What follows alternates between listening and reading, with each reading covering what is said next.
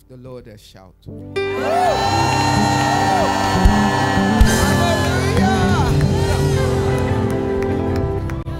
You know, if we really know what we have and the privilege that we have to find ourselves in a place where we have the grace to accept Jesus into our lives, to acknowledge that the Almighty is God, and to have the wisdom of submission to God.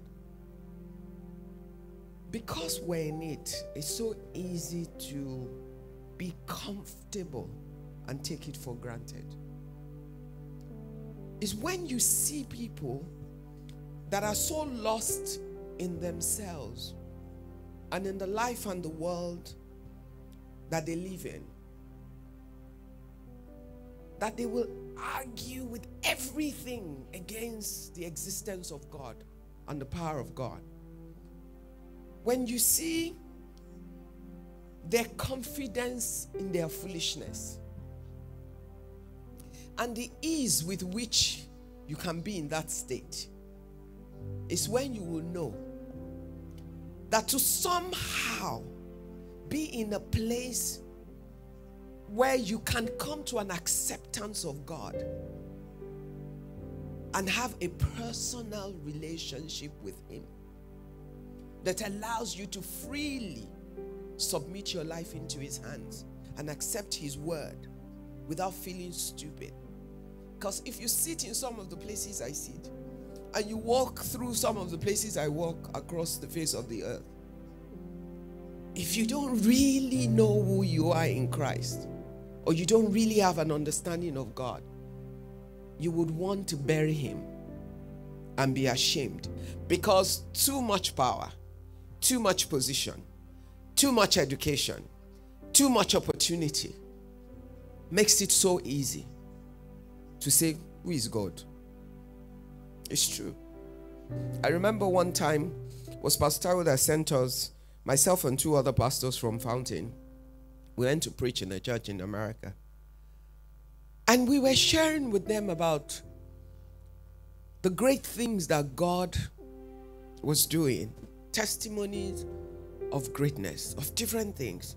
And I remember a woman asked and said, You know, how can we have those kind of testimonies here. Hmm. I looked at her and I said, You know, it's actually more difficult for you. Why? When you touch your switch, what do you expect? Once you touch the switch, you expect that power will come on. You've never had to pray for NEPA. When you get on the road, you're not worried about your car running into a speed bump or into pothole or some there's some things you don't even have to pray for so in a way you get to a place of complacence where you are first an american you believe in your government you believe in your system you believe in everything being available before you remember there's a god and so they don't get to test the power of God. Why am I starting here? I'm not even sure because that's not what I plan. Let me tell you something. So that you will know that the ways of God are purely His. He's totally in control. And there's a reason for everything and everywhere that we find ourselves. So you can stop being allowed to despise being a Nigerian. You can stop hating that I come from this country. I wish I come from where? Tell me, where? Would you like Trump to be your president right now? Would you like to be British in the midst of the total confusion that they have? Would you like to be consumed by bombs or confusion or whatever? I have traveled the earth. And every t- far, the farther I go, the more I am grateful for being a Nigerian. Oh, there are many things I like from each of those countries. There are many things, but I'll have to pick from each one all together to get my perfect world. And then I wouldn't need God. So I want you to understand the needs of our lives, the imperfections around us have a role and they have a lesson. And like that American woman, it was difficult for them to test the word of God and see the results, the true efficacy of his word. It was more difficult for them to bring the word of God to life because the solutions of men around them have worked so readily that they don't get as much opportunity to see the hand of God. So, even that is a privilege. So, I want you to know that we are blessed. There are many things that are blessings in our lives that the world makes us think that they're worth nothing. So, whatever else you take away from here or from this conference, that you have the wisdom and the understanding to come into the house of God as a child of God in submission to your God, to accept His will and His power, and to surrender yourself in His service day by day. That is a privilege.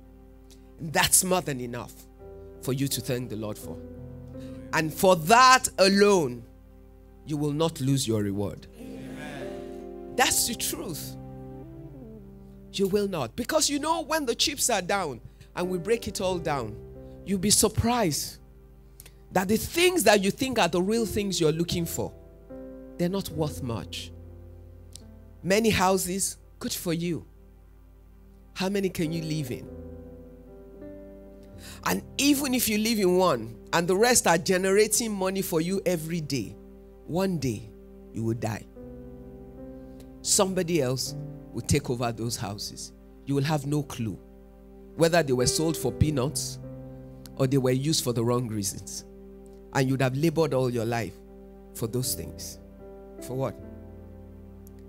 Oh, so you can buy all the most beautiful cars. Trust me, I have cars. But every time you get a new one, every other one becomes liability in your parking space. Why? Because you will find that you rarely use them as much as you did before. So, what does that tell you? You don't need that many. That is the truth. They become very expensive assets that you just pack. I remember one day somebody saying to me that, you know, when you have house, you have apartments or houses in England, and you just lock it up for when you go there for two days, for three days, or when you're there for a week. There are 365 weeks in a year. So if you're in England for 10 weeks of the year, no, there are 365 days and 52 weeks, right? Assuming you're in England for 10 weeks of the year, which is tough if you live in Nigeria. But assuming you're there for 10 weeks, there are 42 other weeks that you're not. What do you have? A very expensive wardrobe. Because that whole apartment, for whatever it's worth, you've just turned it into a wardrobe for holding your clothes locked up, unused. That's the truth. So break down the many things you think you want, and you would realize that the most important things how you feel, what gives you joy, what brings you peace, what excites you, what keeps you focused, what allows you to sleep at night without fear, what gives you confidence of expression, the joy of blessing or being a blessing. Those things you cannot buy. So be careful what you think you want or what you think you, you don't have, which is why you despise this, your country, or despise your father, or despise this and that, and why God is not doing. Shh.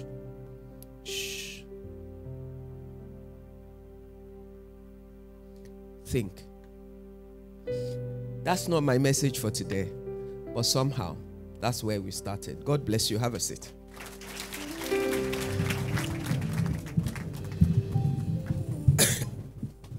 deserve the glory and the honor.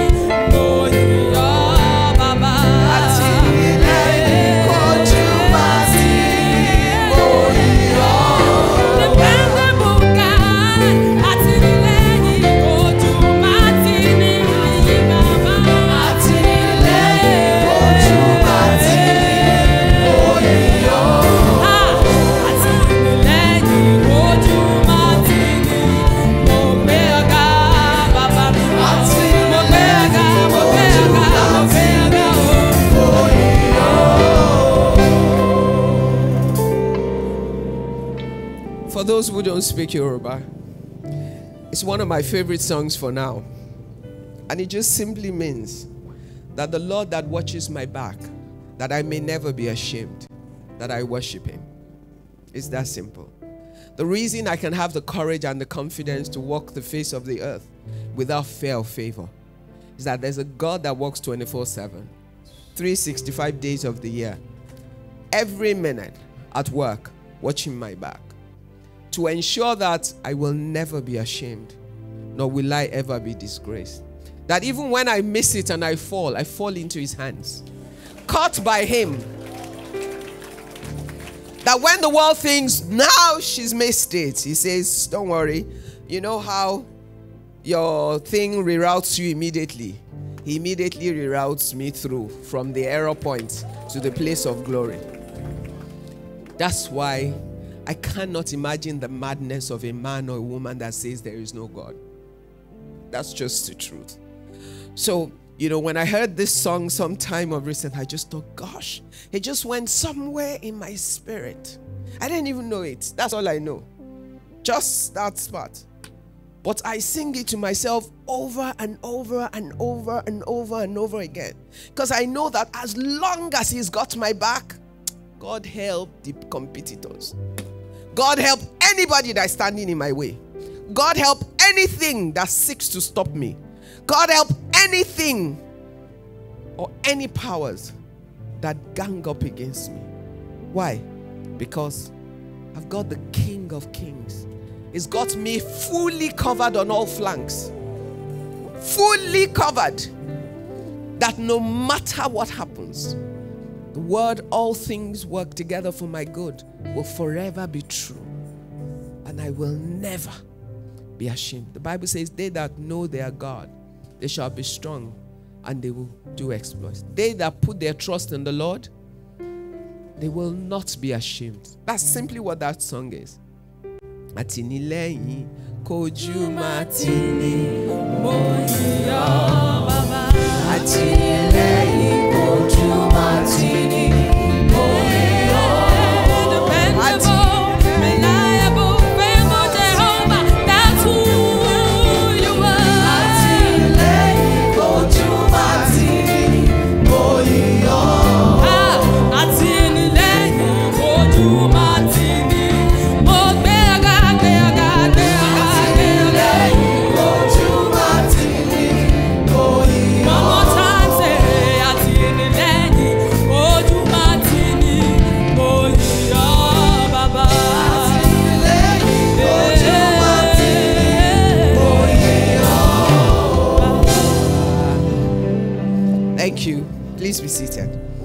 Father, Lord, we bless you.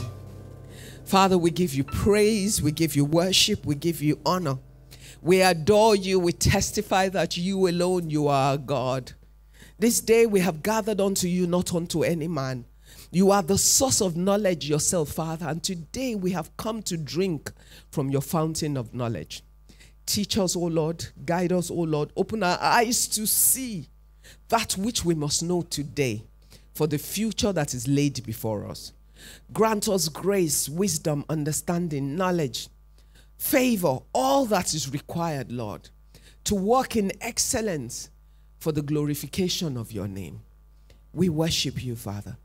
Bless this house, O Lord. Bless the man and the woman of the house. Bless every Aaron and all in this house. everyone that is part of holding their hands to fulfill the assignment and the purpose of this house. Be exalted in this house always. May they never get to a place where they say, Who is their God?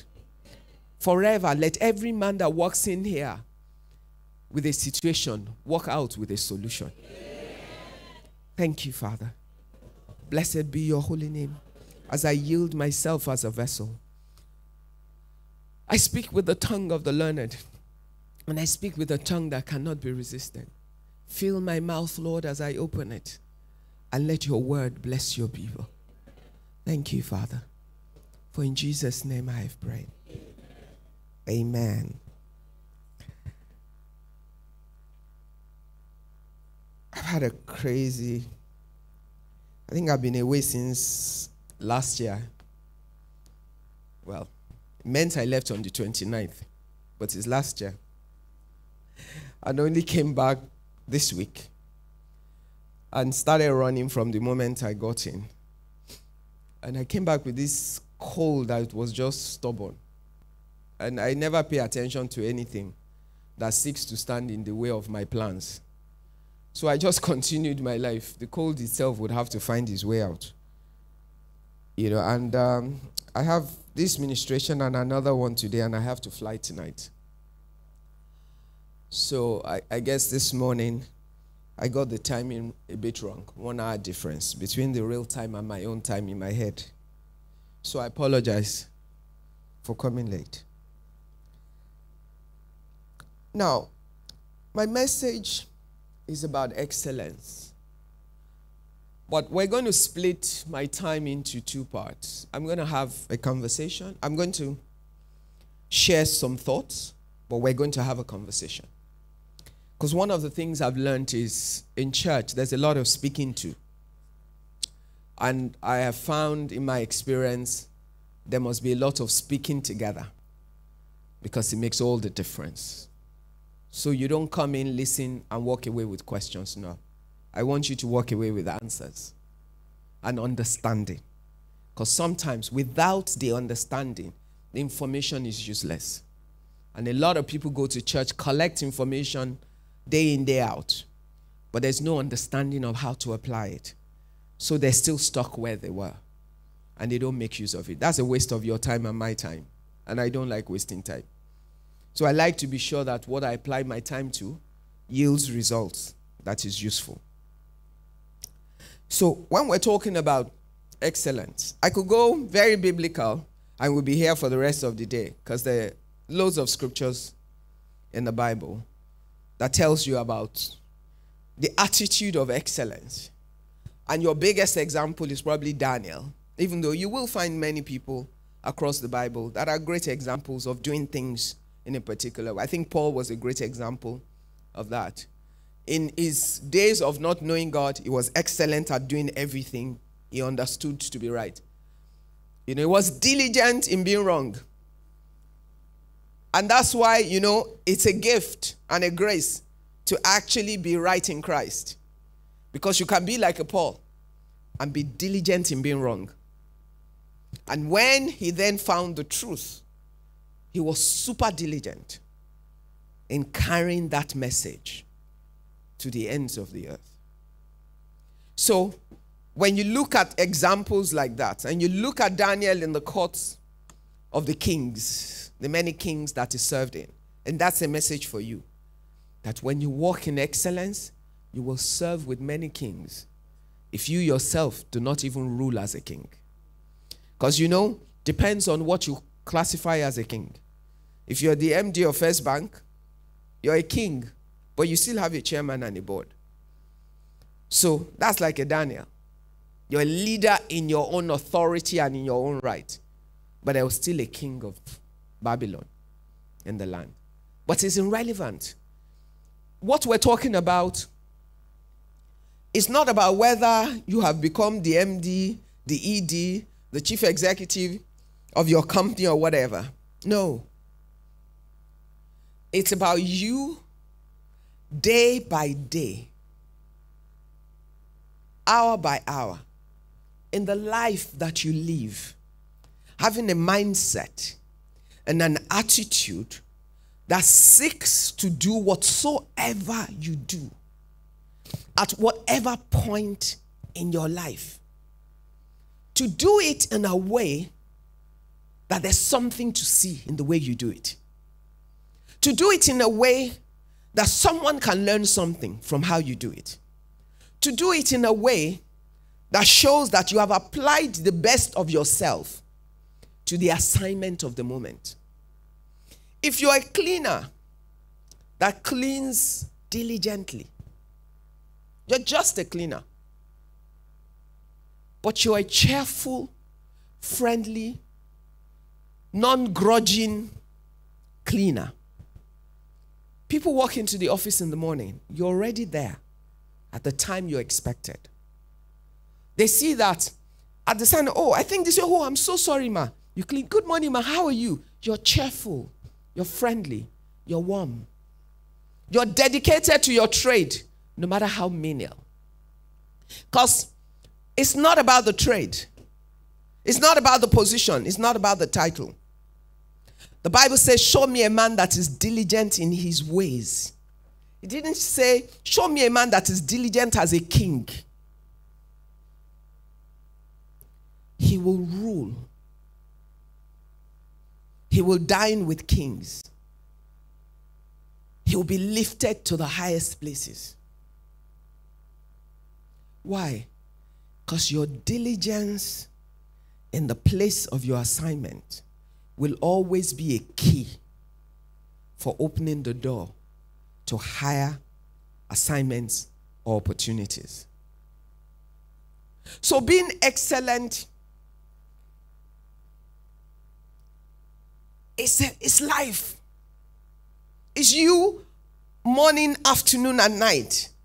It's you every day doing whatever you do, no matter who is watching. Why?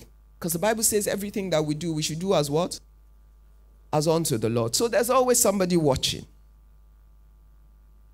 The guy watching never sleeps nor slumber.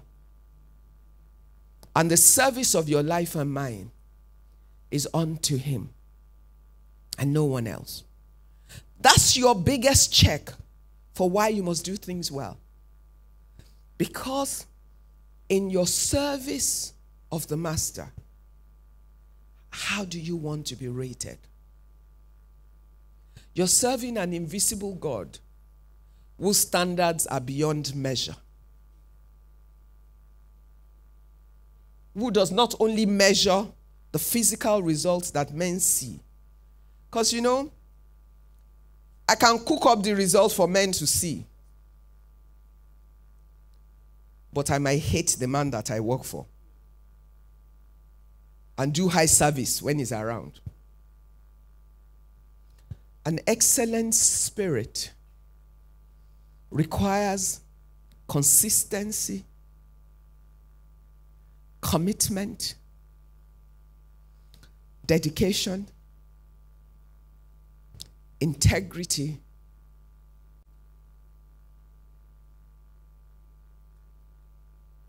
whether it's morning, afternoon, and night. With an excellent spirit, it doesn't mean you'll always be right. It just means even when you're wrong, you'll be sincerely wrong, diligently. You'll apply yourself to do the best of something, even though you're doing it the wrong way, based on the limitation of your knowledge. And in that moment, help always comes. When you find people who genuinely want to serve, who genuinely want to please, who genuinely want to do things right, but have limitations, even you cannot ignore the heart condition with which they do what they do. Because it's a spirit, it's the spirit of action, it's an applicable attitude. It's not a skill, because some men have excellent skills, but are not excellent. They're two separate things. You can be a fantastic carpenter, but a non excellent worker. Do you understand what I'm saying? You have the skills. When you choose to apply yourself, you will deliver the most beautiful piece of furniture. However, there's a guy with a reasonable skill who is diligent in applying himself and his limited skill to produce furniture. Who needs more time to deliver what you can deliver in less time? But because you will not even apply yourself in any time, he will ultimately deliver better piece and more pieces than the guy with the excellent skill. And that's why you find some people you went to school with, they have first class. How many people know people like that? But they haven't had it up to much. They haven't quite achieved much. Who knows someone like that? Because they're naturally smart. So it's through no effort on their side that they can do well academically. They just have a, maybe as they listen, they pick. Someone else needs three, four hours reading the same thing to pick. But he will apply the three, four hours and he'll be more diligent in applying himself to the examination. And the one who has the natural ability takes it for granted and doesn't do as much. And then, even if they then get to work together, same place, uh, admitted into First Bank on the same day. One shows character, diligence, commitment, can be trusted, can be relied on to consistently deliver value over time.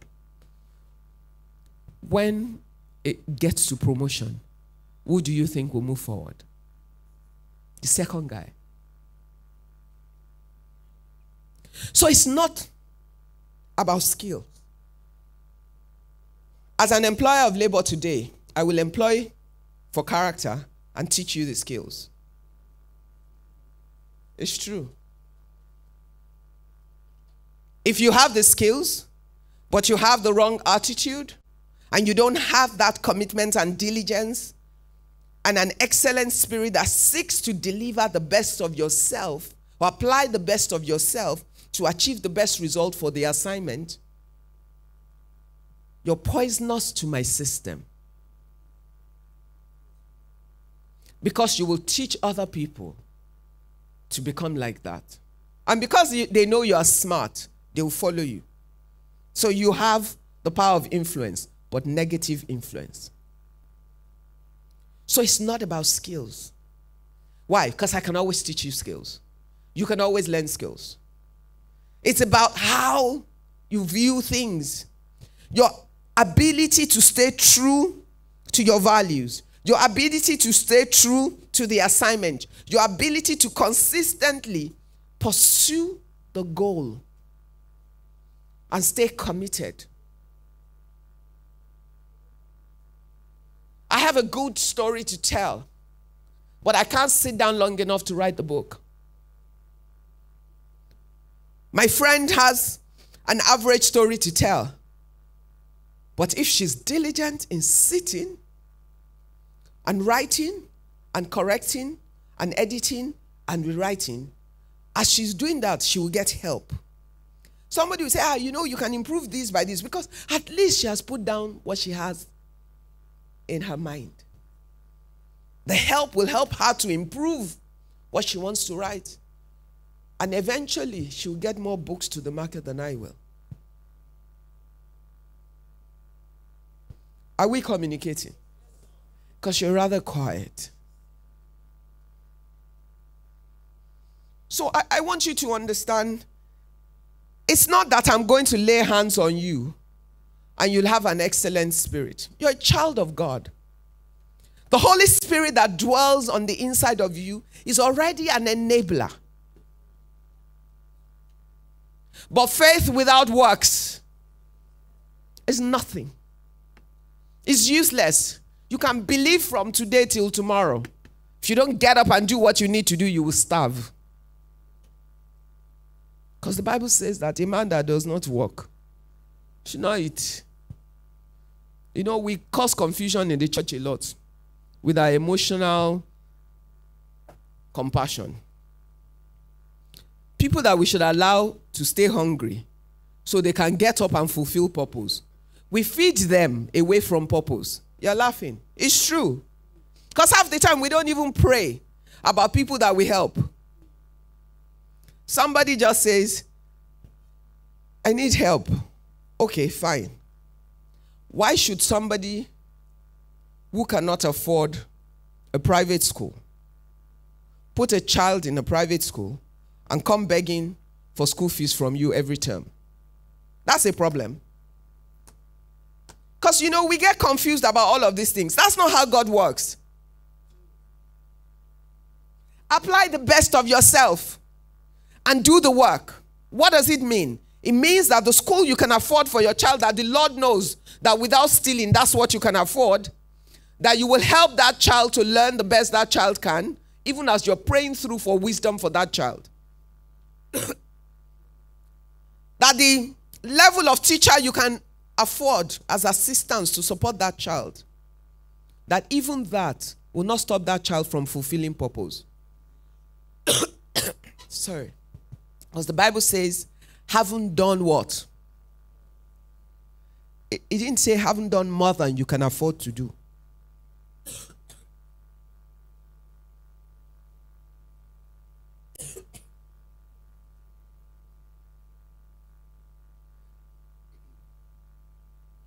God is not going to come and ask you for what He hasn't given you.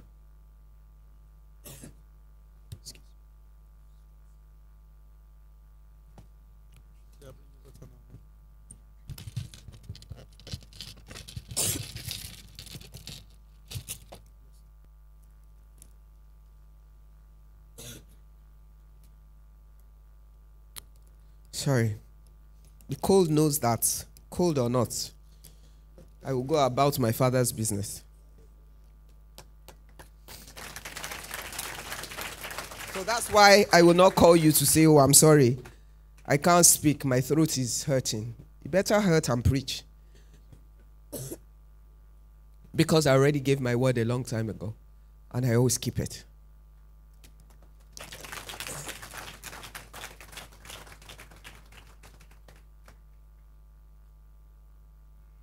In reality, we need to understand the fundamentals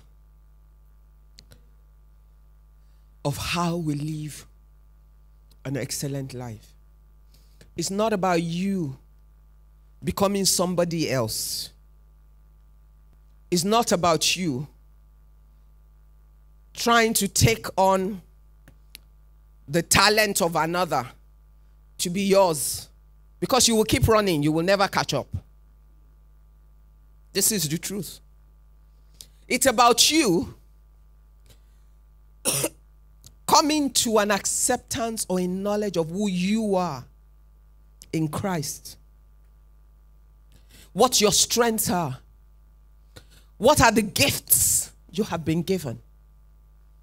Now, with your gift, there are opportunities for enhancement. Because the Bible says we must seek what? Seek knowledge. In seeking knowledge, the Bible says we must seek understanding.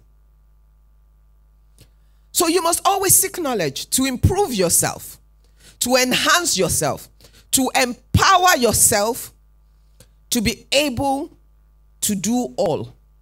Because he says, haven't done all. Stand. He said, haven't done more than you can do. As you do your all, everything that you need, the Lord will bring your way. That might be help. That might be other people. That might be other people's talent added to lift up your hand. But the Bible also says, the Lord is what? Your glory and the lifter of your head. And in lifting your head, He doesn't physically come to do it. He sets you on a path lined with people that will lift your hand and lift you up. But guess how you attract most of those people to you. It's in excellently and diligently deploying to the extent of your own talent in the place of your opportunity or opening. Manifesting character, a person that can be trusted. Manifesting diligence, a person that consistently does what they need to do when they should do it or goes beyond the call of duty. Manifesting grace.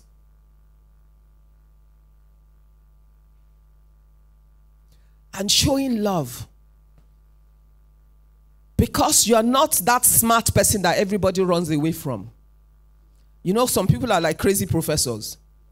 You know he's brilliant, but just keep out of his way. He's a madman. They keep him at the back in the lab. Nobody wants to talk to him. So in an organization, what happens to a guy like that? He will never become the CEO. Why? The CEO position requires interacting with human beings. And a person like that should be kept behind. You find a place where he works only with computers and stuff and doesn't deal with human beings. He cannot even be the head of a department. Why? He cannot supervise people. He's good. He's smart. They will keep him because they need his raw skills. But he will never lead or be promoted to the highest level because he lacks an excellent spirit that involves interacting, relating, building, encouraging, and leading others. You can't run a business if you can't deal with people. Why? Except if the employee is you by yourself and yourself. And any business that requires only you will never go anywhere.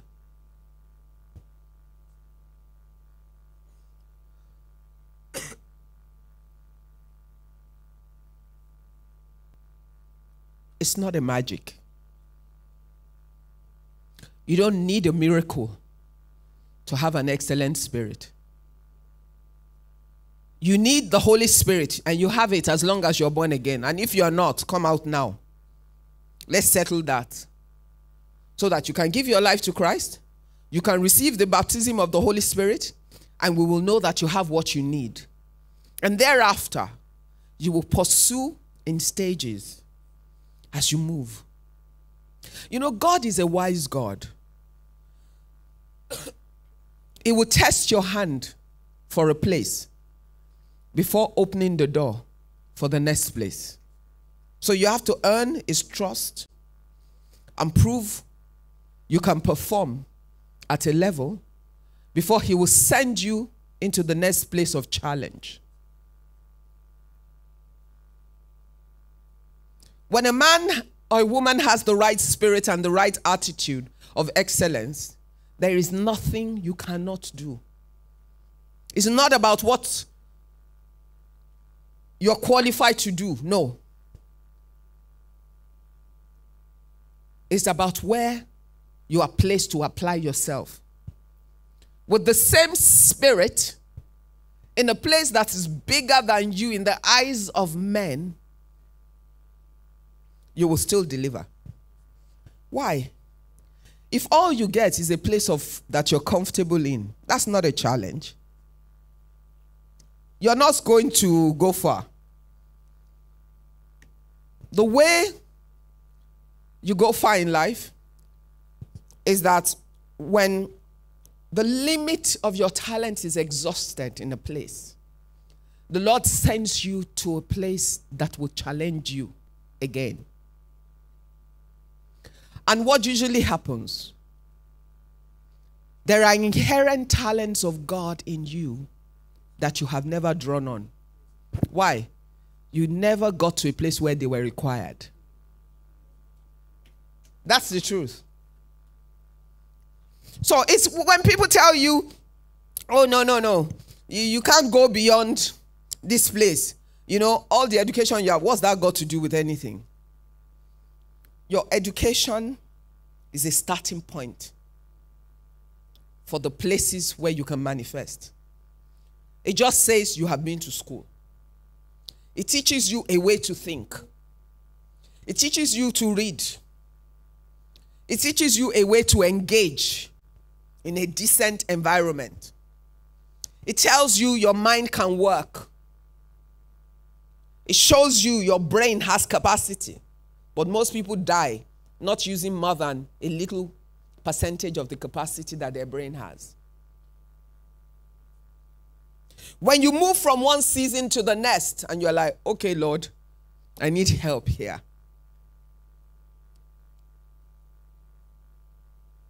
The Bible says, They that know their God, they shall be strong and they will do exploits.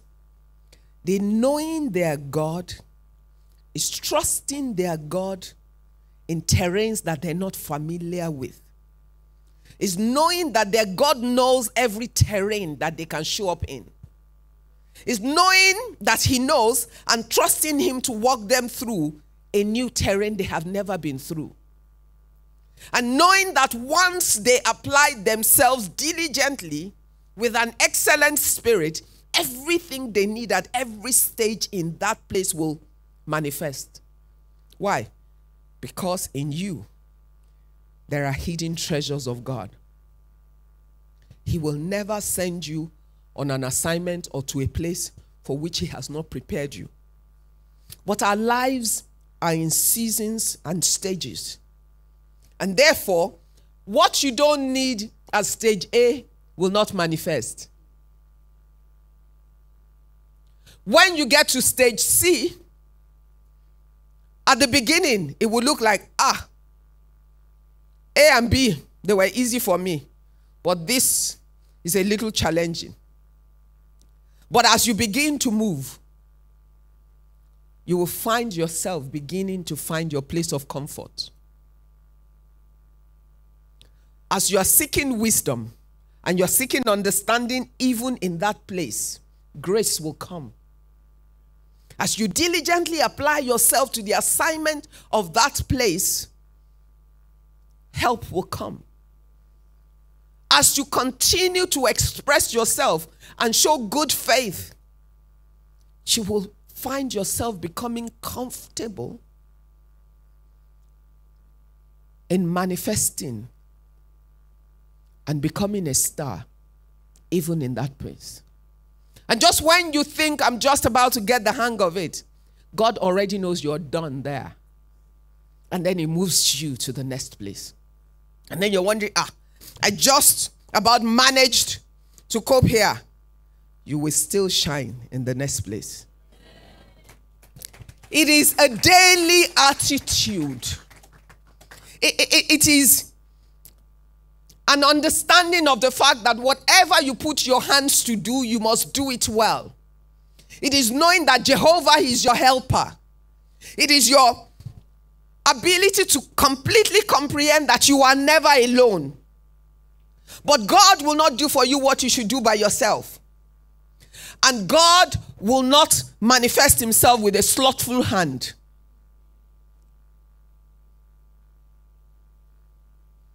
The Bible talks to us about the slothful. He will tend to poverty. But he also talks about the diligent. Ultimately, the diligent man will prosper. Because you see, there's the 10,000 hour rule. Doing what you need to do continuously, consistently over time, what will you become? A master. You will become a master of whatever you do consistently over time, even if you are the most stupid human being on the face of the earth. Your body will condition and train itself to respond. Why? Because you do it. Take an uneducated man, totally uneducated, and put him in a space to watch you do something every day. And then after a while, allow him to begin to try it out over time, he will be better than a graduate of that field.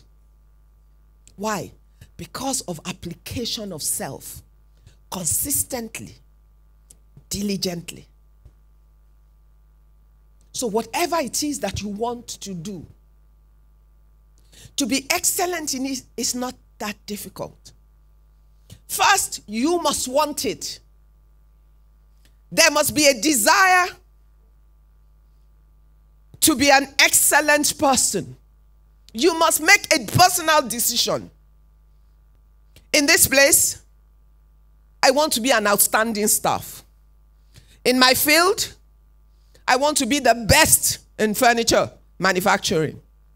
As a banker, in investment banking, I want to be the best in debt solution. You need some clarity.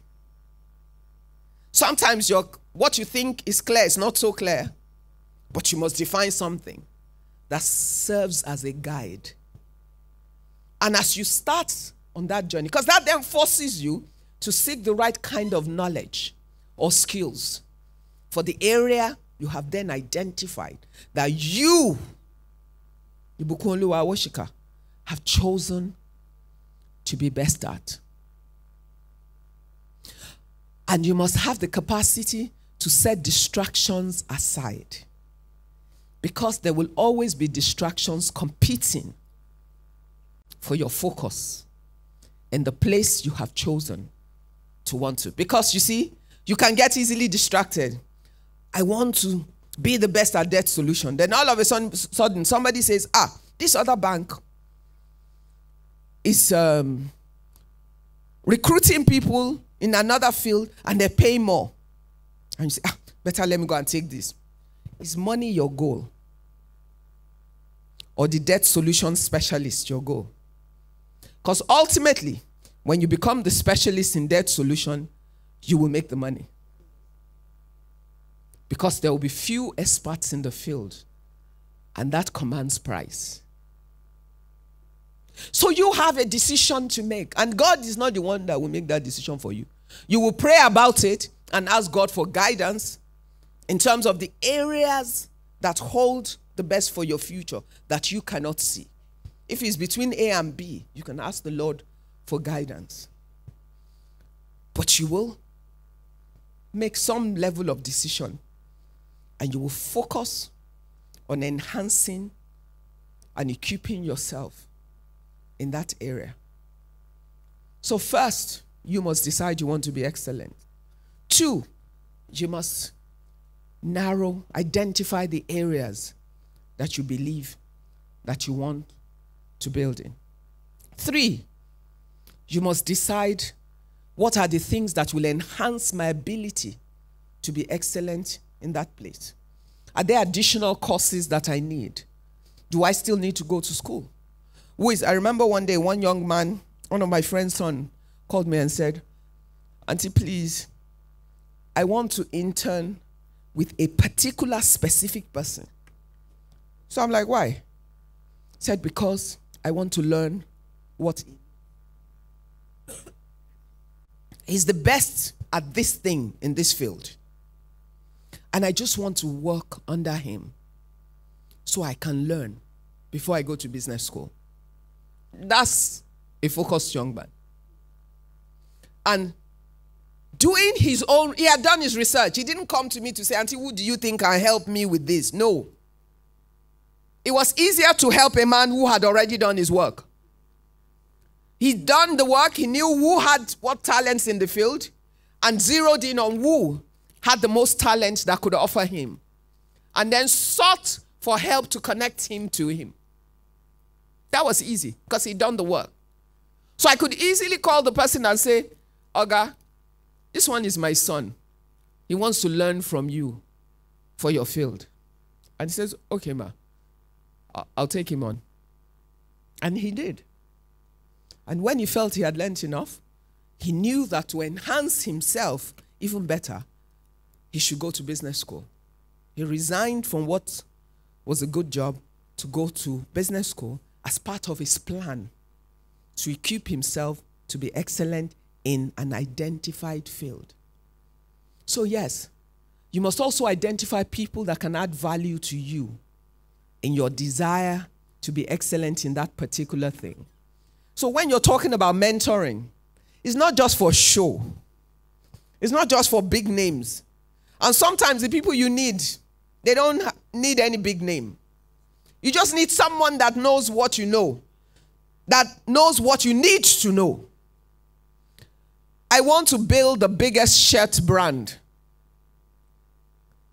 Am I going to TM Lewin or any of those people? Will they even take me? No. But there's a 60 something year old tailor down in Ebute Metta that has been making shirts for 30 years. Yes. He understands how to make what's the most difficult thing with a shirt? Collar and cuff. That's what it is. And if you go to TM Lewin or any of the biggest brands for shirts, you don't even know the name of the guys who make it. Yes. They're ordinary, illiterate, skilled men. But who have done that same thing usually for years. It's like you going to a factory in Italy or going to a Swiss watch factory. The guy who places the most correct chronometer or whatever, whatever, he's probably like 70 years old. He's been doing it for generations. The efficiency he can achieve based on everything he has learned in his 10,000 hour rule is what qualifies him for the highest pay. Even more than the administrative people that are graduates. Because he's more difficult to replace than the sales and marketing manager. Because those ones, they're 10,000 for a dime. There are too many of them. You can always find one to choose. But the guy with that skill needs to have lived for another 50 years before and to have been doing that same thing.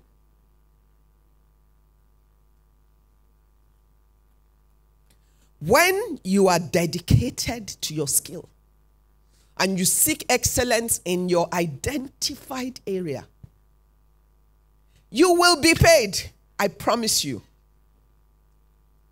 There is no way that you ultimately don't get paid. There would be times and seasons it will seem like you are at the disadvantage. People running around around you will seem like they're making money faster than you. Don't ever despair. When you're a child of God who understands purpose and who knows you're on, on an assignment and that your life counts for something, and that in standing out as an example, manifesting excellence wherever you find yourself, that you are preaching the gospel. This is the truth. If your life isn't preaching, you're not living. At least you're not living for Christ. That's the truth. So if you think you go to work just so you can make money and all of that, you've missed it. Every minute of your life belongs to God. The entirety of your life is ministry. Every action that you take every day is at work for Christ. Where is Christ in what you do? Does that mean we should all just come to church and sit that well? She's my colleague at First Bank. So I know that she doesn't sit at church from morning till night. Pastor definitely looks the professional that he is. So they are not just coming to sit down. So you cannot just say, ah, okay, for me to serve God, all I have to do is come to church from morning till night. Which God are you serving? God left you and I behind for the purpose of who? Of the world. Where is the world found? Everywhere. In the workplace, in the hospital, on the buses, as a doctor in the doctor's office, as a lawyer when people come with their cases, as a nurse helping somebody, as a builder, as a contractor, as whatever. You're in the ministry of people. And the way you conduct yourself with those people is how you preach Christ every day. The question is if you're not doing that daily in an excellent manner, who are you representing? Because if the God that we serve is a God of excellence and seeks that we will manifest his spirit in everything that we do, then we don't have a choice. So you must know. You must walk through those spaces and allow things to work for you. Money is not your driver. Money is the fruit of doing what you do excellently. Whenever you do what you do excellently, you will ultimately be paid. Just remember that.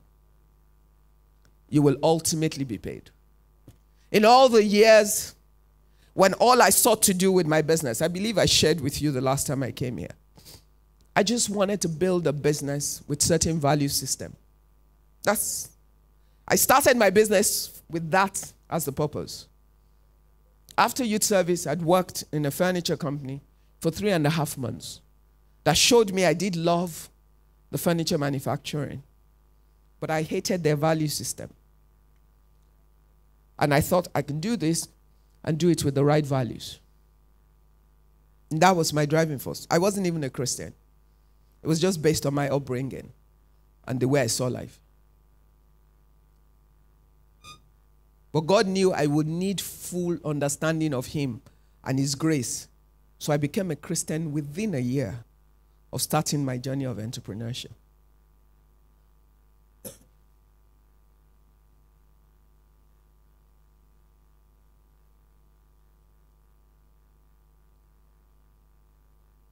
As I got started in that, it became clear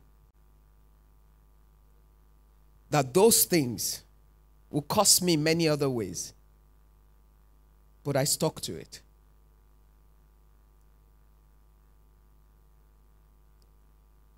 But as I did, others were watching. And I didn't realize. It seemed slower. It seemed like it took much longer.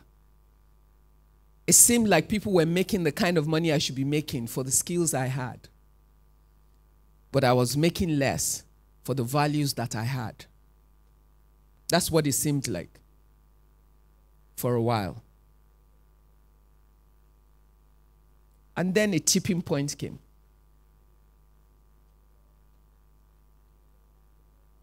And I got my reward. Or I started receiving my reward. Because, as my younger sister put it, at a point of one of my appointments, she said to me, You know, all your competitors or your colleagues in your industry who did so many things you refused to do, all they probably made then was money. And the money is long gone. And some of those businesses are dead. And I used to think that Allah Juni because why would you insist on doing things this difficult way?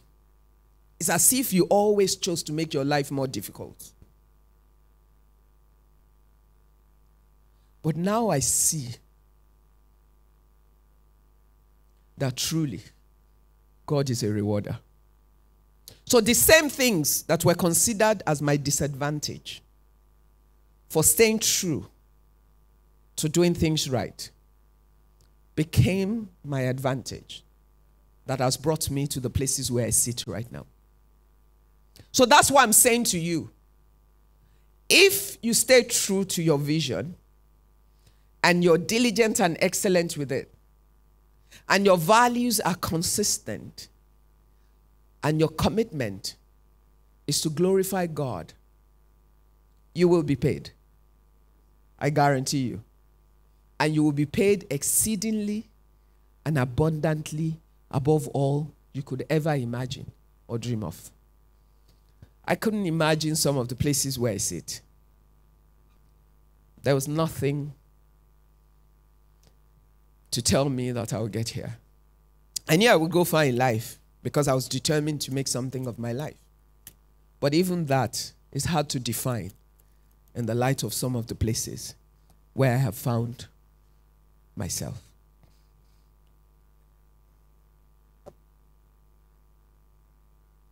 Do we still have time for this interactive session? Okay, all right. Before I scatter your whole conference agenda, let's have this interactive part. Who wants to ask me the first question? Okay. Can I have a mic for him?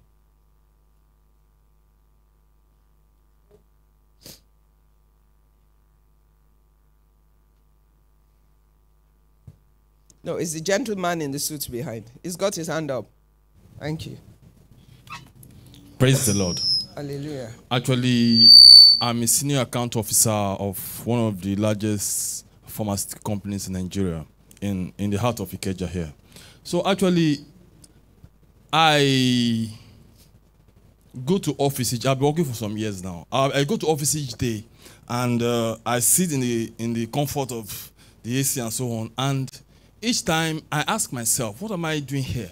Because what I really have passion for is evangelism. To go out each time I'm coming, I'm going to work, and I, in the morning I pass through Ogba where I stay. I see some people standing on the junction. They are evangelizing, and I always admire these people a lot. Anytime I go to my office, I work with the computer and so on, and something tell me, what am I doing here? I don't know. I don't belong here. So actually, I don't know how to go about it because I need to work so I can pay my bills, pay my house rent, and other things. So, but what I really love to do is to do what I have passion for as a person. Though I do it because each time I'm going to work, if I enter the bus or a camera, I, I evangelize, I do minister. If I'm coming back from work, I do the same thing. But I want to really go on a full time basis you know, since it's what I really have passion for. That's what I long to do. So I don't know what. Uh... It's a good question, but he's asking the perfect person. I'll explain the answer to him. Second question. Okay. I'll, I'll take a number of questions together and try and answer them. It'll be more efficient for time.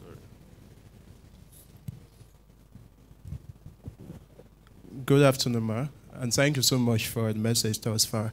I'm a scriptwriter, so um, I have this burden because there was a time when um, I had to lead a group of scriptwriters for a particular TV show. So I have this particular guy that is very stubborn. He's been stubborn through the conference and everything. So it came to the time when we needed to write the script, and I have control over the pay. So there was this job he was supposed to do that he refused to do it. And I called his attention to it and said, Young man, go do it. And it felt like I was too forceful. I was being too forceful. Actually, the word they used, bossy. And um, at that point in time, I felt like I was on my right to demand that he does the job. Up to this moment, he has not done the job. Is he a Christian? He claims to be a Christian. Okay, go on. There's a reason I asked. I will explain myself, but go on. Up to this moment, he has not done the job. Now, I know the pay will come very soon. Now, this is what I decided. I decided that since you're not going to do the job, I will allocate the job to some persons. I probably will take more of the job because I need the money. So I will, I will take more of the job and divert the funds to the people that do the job. But at the same time, I'm thinking that um, don't you think you should talk to him but this guy insulted me. He felt it's very unreasonable from what I see. So at this point, I'm actually in that dilemma of should I, I could do the job for free, like do the job and pay him the money anyways. But I felt like at this point in time, should I not stand my ground and say, young man, are you the employer of the young man? I am the head writer, so they pay the money through me. Okay. But you don't employ him, so no. you don't have the power to fire him. No, I don't. Okay. All right. Third question. Girls, show up. Okay, there's a woman there in green. See, I'm a diversity person. Thank you so much, Ma, for the wisdom that you've shared this morning. Um, my question is Is it possible for one's passion? I don't know how to explain it now. Um, a fashion designer. I love, that is what I love doing. I love doing it. But a lot of people around think, I know I have um, a skill when it comes to public speaking. A lot of people are, I'm actually under pressure right now to go for further training and probably take up career in um, a career that will put me out there, that will be able to talk to people, reach more people. And I know I have the gift, I know I can do it, but I don't, it doesn't come, it doesn't, I don't see myself doing it, even though I know I have the gift. Okay. You know, many people have an opinion about who you should be. Many people have an opinion about how you should live. Many people want to instruct your life. But there's only one God in your life. And the person who has the best communication with Him about your life is you. Never forget that. So, opinions are good, counsel is safe, but every counsel is information, it is not instruction. So, when people tell you their opinion, all it does is it gives you a 360 degree view of the situation. But the decision is entirely yours based on what you know between your heart desire, your God instructed passion and instruction, and where you feel led. And sometimes it would become clearer by where the opportunities around you at that point lie. Do you understand what I'm saying? So you might have the gift to speak, but does that mean public speaker of what? This is how people confuse people and throw them away. You've already stated your passion is fashion. It's obvious from just looking at you. The way you've put your gab together, it shows there's attention to detail. Who says your speaking does not align with your fashion? So your gift will be used to sell your business. But in addition, you're a child of God who says your gift will not be used in the house of God, children's fellowship, youth fellowship, business fellowship, whatever. And some of the gifts we have, they're timed. When the time and the season for which you have the gift comes, you will not have to push it. It will come naturally, and you will get a voice and a means of expression. Because it's not about being able to speak, it's about speaking what to what. When I was at school, I used to debate. Throughout Methodist Girls High School, I used to debate for the school. I won the Lagos State Best Speakers Contest and all of that. So for that, people thought I would make a great lawyer. Even though I went to university to study chemistry, even at a point, after my first year, I wanted to abandon my chemistry and change to law. Until I caught myself and decided I didn't want to be a lawyer. And then I went ahead and decided I wanted to be an accountant so I could work in a bank. But I finished my chemistry anyway, took a lot of electives in accounting, went to serve in Akintola Williams, which is now Deloitte. And then by the end of the one year of the service, I realized I didn't love accounting. But I thought I would still like to work in a bank, but let me take any job I could find first. And that first job was in a furniture company to kill time. I spent only three and a half months there and ended up starting my own company. This January is 30 years since I built that company. Now, no, I haven't finished my story. See that debating and that speaking. What did I think it was for? For some, it was to make me a lawyer. Did they prove to be true? No. What has it turned out to be for? No, the gospel. Because I was even a Muslim all of those years we were talking about. Yes. I was born and bred a Muslim. My name is Belkisu. So when I became a Christian, did I even go to church and start preaching? No. I became a Christian four months to my wedding. And in church, I listened, I learned. Somehow, my pastor said, The Lord said, you should start a business fellowship. I was still a young business person. I was 30 or 29 or something. So I started the business fellowship in Fountain just as we started. What was I going to teach them? The little I had learned in my few years of business. And that's how it started.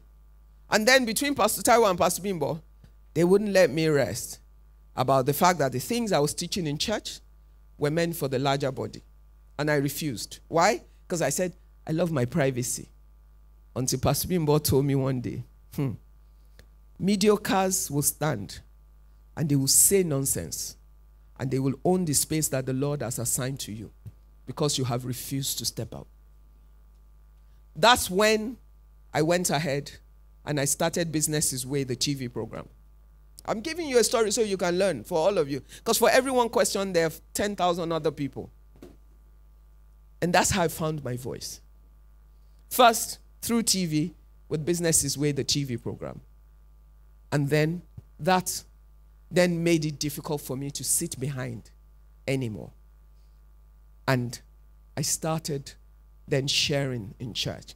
Because you know what? The business ministry is difficult for most everyday pastors to preach. Because the business people go to them with business issues that the pastor has never experienced before. He's going to come at it from a spiritual matter. Doesn't solve the problem. That's the truth. Because you need understanding of the field to apply the scriptures to it and bring life. So, you have a voice. God doesn't give a gift that will be wasted. Continue to use it anyhow you find, as long as it glorifies God for now. When the time and the season comes, it will find its own space. But follow your passion and don't be deceived. I've seen too many people abandon careers for the gospel in inverted commas and they suffer because of lack of understanding. Every single child of God has a responsibility to preach the gospel. Every single one of us. Will we all preach from the platform? No. Will we all preach in the street corners? No. But we will all preach it. And that's why I said to you being excellent is a way of representing God because you're preaching every way in everything that you do. There's a reason God has allowed you to come to where you are. And evangelizing, there are people that you cannot speak to on the street corner. The people you meet in those offices every day, the people you meet in the course of that work, they too, they need evangelism. Beyond that, most churches have evangelism programs. If you know it's a passion for you, there's nothing that says you're not active in the evangelism department. And if you don't have one yet in your church, maybe it's you that will get your pastor to get it started because you and some other people might have a definite passion for it, which means your weekends and your leave and public holidays are spent reaching out for God. And if there's more to that at a stage, the Lord will set you up in a way that you will not starve. It's not a God that puts you to shame. So there's a lot of confusion about people do these things and it puts a lot of people off. I work with missionaries. I've worked with missionaries for the last 24 years. I run an organization called Christian Missionary Fund, which is what Pastor was talking about. So I'm living my full corporate entrepreneurial life, but I am actively involved in the work of God. I'm here today, but beyond that, I work with hundreds of missions scattered across this nation. I have a full office and a full ministry, people working there full time, some of whom have worked there for 24, 25 years, full time, reaching missionaries. And one of our flagship event is the one he came to. I have a ball every year, a large ball for about 700, 800 people. It's called the Jesus Ball. It's grand and everything. The whole idea is to show that when it's Christ, it doesn't have to be shoddy. So we have an opulent ball and you don't buy a ticket. You get invited. So you don't think that it's because you've bought a ticket. No. Just come.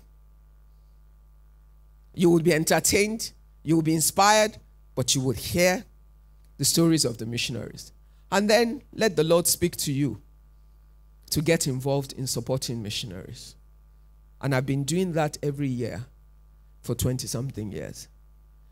So, can you do the work of ministry and still be an excellent accountant? Yes, you can. And if there's a point in your life that the Lord requires that you will be full time in ministry, you will know. You will not be struggling. You will find your peace and you would walk into it. How many people have watched God calling? Okay. Yeah, a church that hasn't watched God calling. God Calling is the movie that I'm executive producer of. It's a faith based movie and it's showing in the cinemas right now. It's been showing in the cinemas since December. But I say it myself with no apologies. It's an excellent movie. It is not what people expect that Christians will bring out. But my goal when I agreed to work with these young men that had the ideas was my reason for deciding to be executive producer and to invest in making the movie was to find contemporary means of preaching the gospel. And everybody goes to watch it and they're like, ah, this is a Christian movie. Because as far as we've gotten feedbacks shown in America, it's showing, it's showing our goal is to take it around the world. So, some of those things, if I don't have the resources or the opportunities that I have, I can't deliver them. So there's nothing wrong with us as Christians sitting in high places. We can still preach the gospel. So don't let the devil deceive you and keep everybody out on the street begging for money to eat before we can preach. No. You must preach with your life, with your words, and with your actions every day. And those that are called, my pastor, Pastor Odukoya, is a petroleum engineer. When we started Fountain, was working in NNPC. He refused to leave for a long time because I cannot be coming to church to beg for money to feed my wife and my children.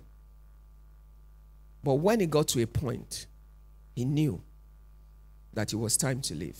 And the church could afford to pay him at least the salary they were paying him at NNPC. And then he pulled out. And the work has proven itself because time has told the story. So for every man and every woman, we have different calling. But don't run ahead of yourself. Thank you. Did I miss?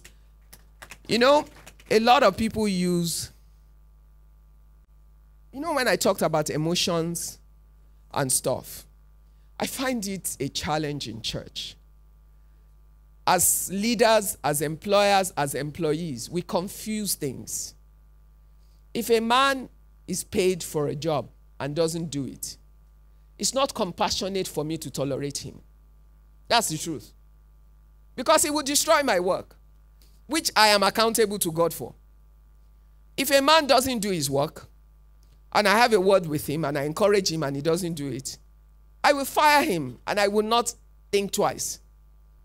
Because what I should do in love, I have done. And as a laborer is worthy of his wages, me as the employer as well, I deserve value for the work that I pay for, for which I am accountable to God. So, if a man works for you who doesn't do the work, it's not Christianity to pay him for work he hasn't done. For what? Because we tolerate a lot of stuff, and there's a lot of mediocrity in the church. And a lot of Christians are also like that. You work in a place, you don't deliver value and then you are praying against your boss not paying you. You should never be paid. Period.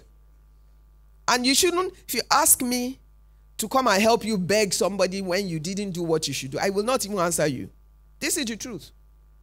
Because how do you show excellency of Christ in the place that you work? Is that you're excellent at your job. How do you, as an employer, show the excellency of Christ? Is that you're just, you're fair, and you're equitable with your workers. You pay a fair wage for fair work. You're kind and you're conscientious in keeping your word to your workers, but you will demand service and deliverables. And if they don't, I will, you will take the right action. And that's why companies must structure. You should have terms of every contract. You should have conditions of service. So that when people breach it, you have something to refer to and you will do it kindly. So you write a man a nice letter have an interview with him and explain why you are firing him. But you fire him anyway. And you pay him what is due. And he goes so that he doesn't destroy your work. So, whatever you need to do, don't apologize for taking the right action. Uh, I think I, I've used all the time I have.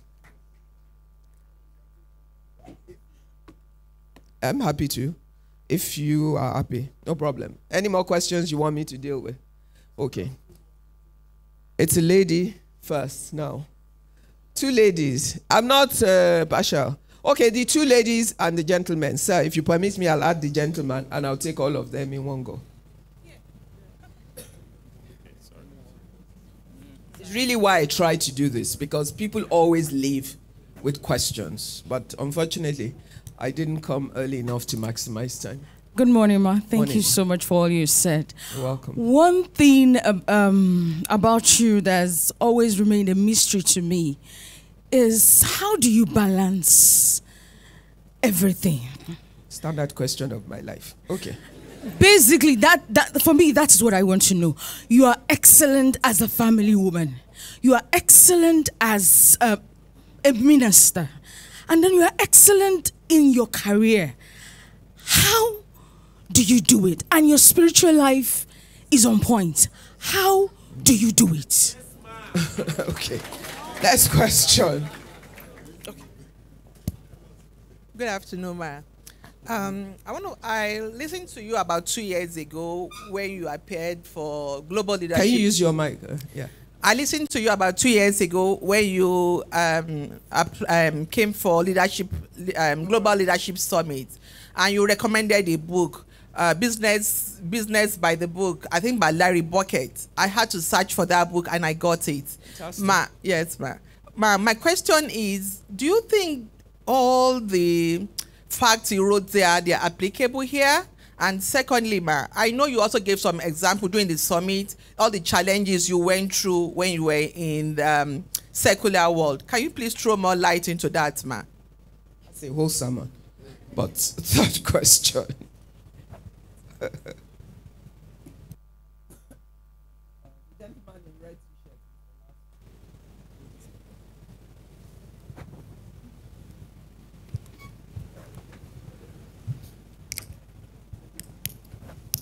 afternoon, ma'am. My name is Paulo Tupe. Um, my question is this: uh, um, in, I know in the Bible, um, the Bible said that a new, a good name is better than precious ointment. Um, I believe it's not talking about uh, a literal name, right? Um, my question is this: How? It's actually literary. Uh, okay, okay, ma'am. It just means that preserve your name rather than make money when you're Okay. faced with it. Oh, It's okay, giving you options. That's what. Anyway, we'll get to it. All right, ma. Okay, my question is this: um, What what bearing does our name have on uh, us fulfilling our destiny, or rather, is uh, for like for some people who are not uh, born into a Christian home, along somewhere along the line, they have to change their name, or you know, Okay, I understand your question. But you see, what the Bible is saying there is not that my name is Ibukun and your name is uh, uh, Paul. Did I get you right? Yes, ma'am. Yes. It's, it's your integrity, it's your character, it's your reputation. That's, what, that's what it means by name. Okay. Because Ibukun Awosika, what does it mean? It's just some uh, alphabets put together that you can read one way. But what's its real meaning? Is that when that name is said, what does it communicate to you? That's what a name is. That if you say, um, what's the guy that was kidnapping everybody all over the place? When they say Evans, what does it mean to you? No, no, it's true. So if I say Tinubu, what does it mean to you? Power. No, no, but that's really what it is. If I say Jesus, what does it mean to you? So if I say Ibukun, what do you, what does it mean to you? So really, that's what it means. Your name, what does it communicate? What is the messaging that the name represents based on how you've lived your life? Based on your character, based on your integrity, based on your word. That's really what it is. Which is why you have to live your life deliberately. You have to live your life consciously. You have to understand that everything you do every day, every minute has implication for your name. It has impl- implication for your legacy. Your children will pay the price of it for good or for evil. Because if Evans' children dare to say anywhere they're Evans' children, what do you think will happen? So, for sure, they would have changed their name. Why? Because that name no longer becomes bearable, because it represents evil. Have you seen anybody name their child Satan? Issue. So, frankly, it's really about everything we'll be talking about since morning. You build your name based on the way you live your life, based on your expression of day by day, the things you do. That becomes synonymous with what your name is recognized to represent. And the biggest part for us as Christians, because we're children of God, the way we live becomes synonymous with who Christians are. It's why you will get to some place saying, mm, I don't want all these Christians. Oh. Why? Because enough of us have misrepresented us and the way they have lived and the things they have done that we have become distasteful to people. There are people that will not employ Christians. True or false? Why? Because you go to work and you be reading Bible when you should be working. Why? There's a time to read your Bible. There's a time to pray. When you're at work, from 8 to 5, you work for the man that pays you. That's what the Bible says. When you have your lunch break, 12 to 1, 1 to 2, wherever it is, you can go to the toilet or anywhere you want and read your Bible. That's fine. But don't go to work and think that just because you want to pray between 9 and 10, or you want to pray between 2 and 3 when you should be at work, it should be acceptable. Of course not. You must deliver value for which the man has paid you. Show him that as a Christian, you will do what you are paid to do and you can be trusted to do that. Those are some of the things that we have assumed wrongly, and we must understand it. If you really live excellently, you must be living excellently for Christ in every way, because everything that you do counts. Now, the lady that asked me the question there. That was Larry Burkett. Okay, is it possible to apply those things here? You know, my entire business career of building business God's way, which led to my TV program and the book, Business His Way, was from, as you heard in the global leadership video, my first contact with the fact that you could build your business after God as a pattern was from reading Larry Burkett's and one guy, Sam something, who wrote a book that said, God owns my business. Those were the two books that I read that got me started. And then I thought, oh, I can do this too. I want God to own my business. But if God owns a business, I cannot be paying bribe in the business. I cannot be stealing. I cannot be doing there are many things I can't do because that will not be God. And that's what started me on the journey of building a business uh, group based on certain uh, Christian values. Now, are those things applicable here? They're applicable anywhere. You know, the thing is, the world says to us, some things cannot be done. But if the Bible says it's the right thing for us to do, then we can do it. What is the real challenge? It's the sacrifice. The price we need to pay in order to keep to those things. Now, the question you would then ask is can you succeed here if you do those things? I dare to say with all sense of humility that if my business has continued to exist for 30 years, from the point at which I encountered that and I sought to do it, it's a living proof that you can.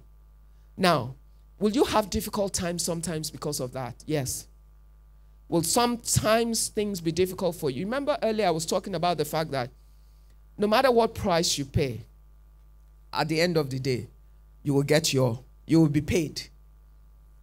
It means, like when my sister said, Asheju, um, Alashejuni, for those that don't speak Yoruba, that I can overdo. Overdo was simply because I had those principles you were talking about and I refused to do certain things. At a point, furniture, to bring furniture into Nigeria was 100% duty. Nobody would pay it, but I did. And it seemed like madness. Even my staff used to think I was insane. But I knew that I could not, in one hand, face God and another hand turn against Him. I had to be able to follow Him all the way. And I had my serious moments of trials and tests. But at every one of those moments, painful as they were, God saw me through. And the places where I stand right now, they're my reward. That's the truth. They are my reward.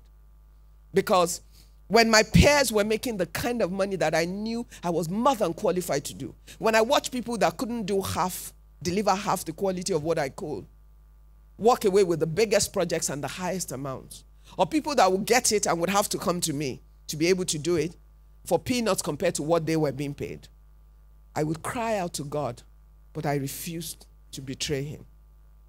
And I decided to stay with Him. You know, you must be willing to die for God, even if He doesn't show up. But you know the funny thing? Every time God knows you're willing to die for Him, even if He doesn't show up, you wouldn't have to die at all. That's the truth. You will not have to die at all. Remember, the Bible talks about the heroes of faith, and it listed men that believed but never received. He put it there for us to know that sometimes we're going to believe Him and we will not receive. But what I've learned in my 30 years in business is that even when we walk through those moments, God is using it to fine tune us and to pre- prepare us for things.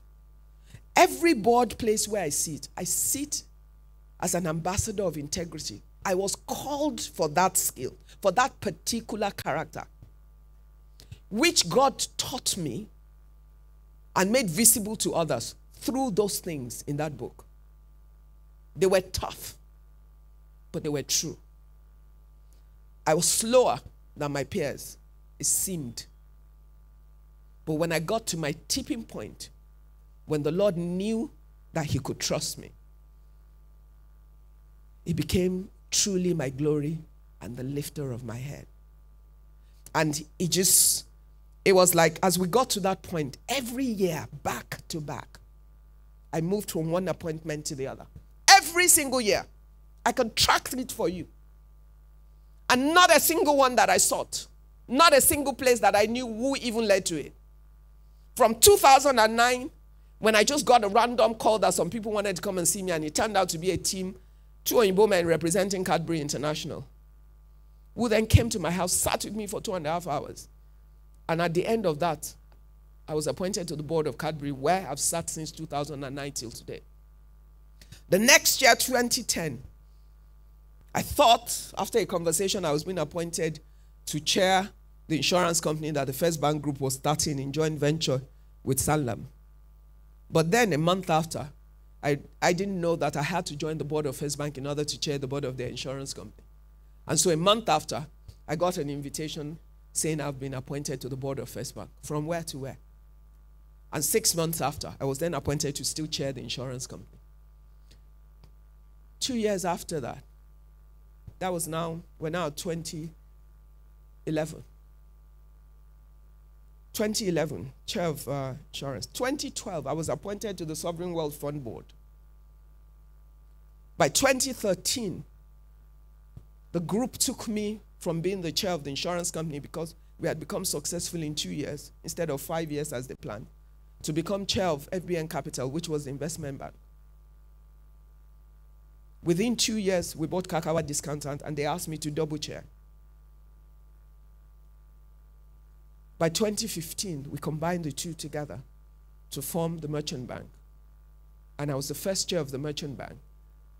And September 2015, the announcement was made that I'd been appointed as chair of First Bank, effective 1st of January 2016. I have since had multiple appointments in between all of that and that both internationally and locally. Look, God owes no man. His ways seem tough. The devil tells you it's difficult to follow God. Is a lie. God will test your heart and He will test your hands. And more importantly, because money is the greatest evil of men, it's the easiest place to draw men to evil, even though money itself is not evil.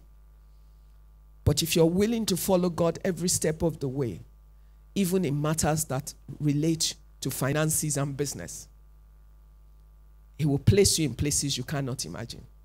So, this is my story.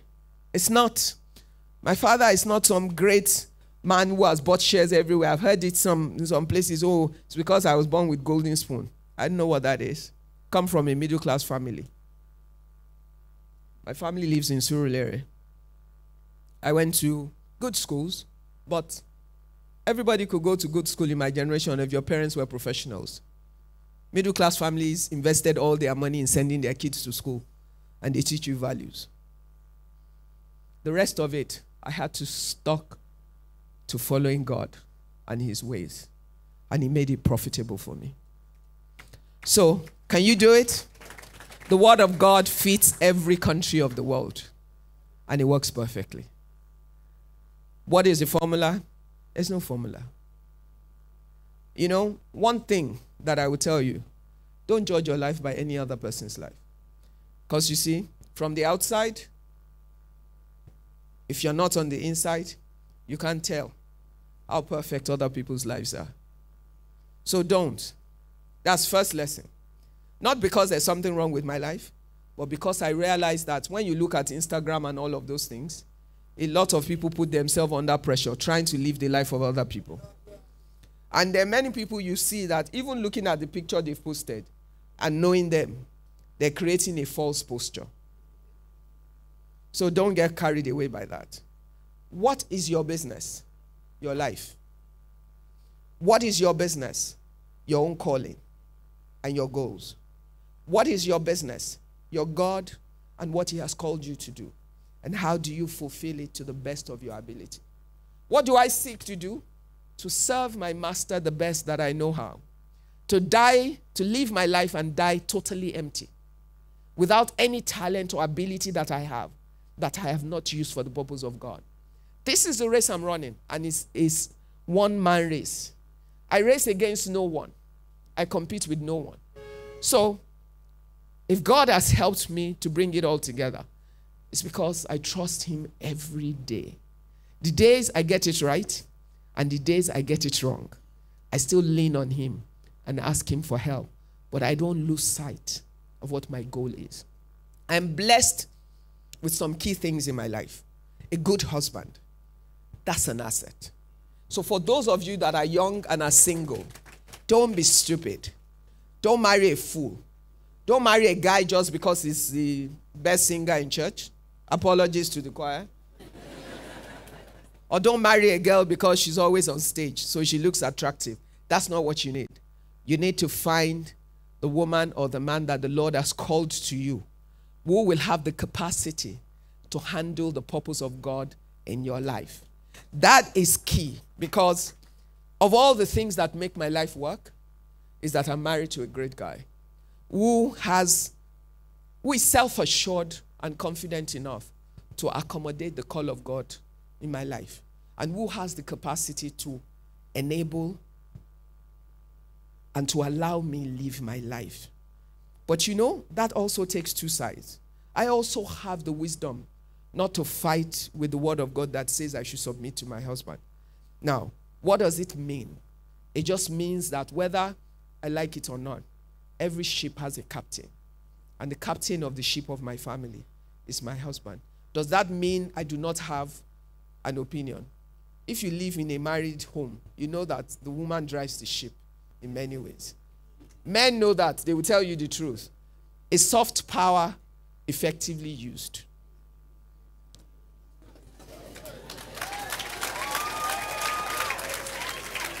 That's just the truth. What I say to women is know where you're going, know what you want. Don't care what any other woman tells you outside about her own friend, her husband, how she does it. That's her own. The pair of you and your husband is a unique pair, always different from another pair. So somebody else's formula is not your formula. Your formula is your own formula, and you must formulate what works for the two of you. Most people are comfortable developing a business strategy. There's no person that has a business that doesn't spend time developing strategy for the year, strategy for the season. How many times have you sat down to develop your life strategy? And the strategy to make your home work so that it can support your business ambition or your career ambition and your ambition where your children are concerned. In doing that, you will know the things you must do the things you mustn't do, and how you must do some things in order to be able to achieve the things you want to do. It's one couple at a time. Self developed strategy that works for you. Don't get carried away with anybody else's story.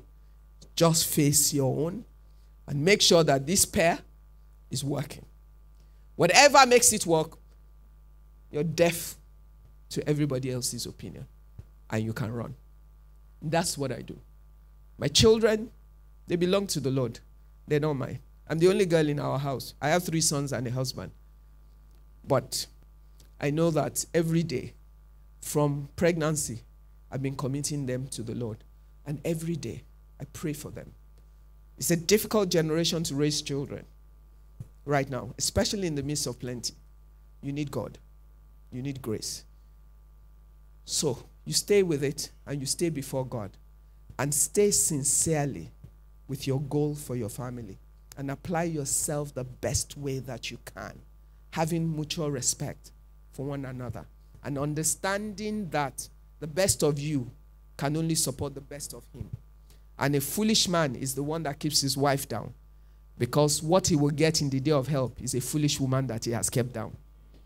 And if the Bible says your wife is your helper, and you have not allowed your wife to be the best of herself, you will not get the best help.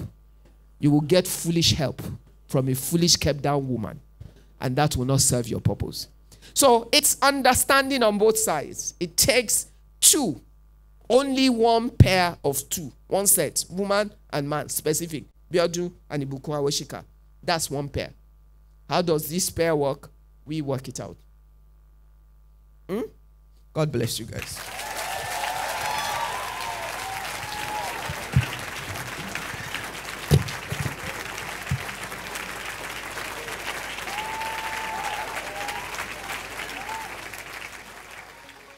Thank you for being a part of our broadcast.